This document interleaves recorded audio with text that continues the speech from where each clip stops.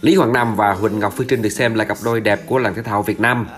Chàng là tay vợt số 1 Việt Nam, nàng là một cô gái tài năng, xinh xắn. Lý Hoàng Nam trở thành tay vợt đầu tiên của Việt Nam vô địch giải đấu thuộc hệ thống Grand Slam. Cụ thể là chiếc vô địch nội dung đôi nam Wimbledon trẻ 2015 khi đứng đôi cùng với Sumit Nagan của Ấn Độ. Chưa dừng lại ở đó, Lý Hoàng Nam còn là tay vợt đầu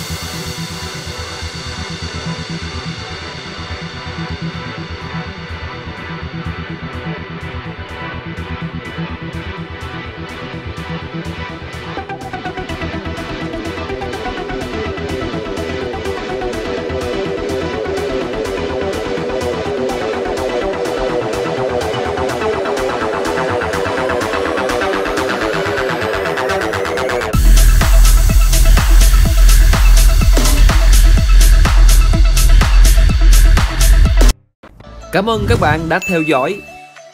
Đừng quên like, share và bấm đăng ký kênh nhé. Xin chào và hẹn gặp trong các video tiếp theo trên kênh thể thao 360 của báo Thanh niên.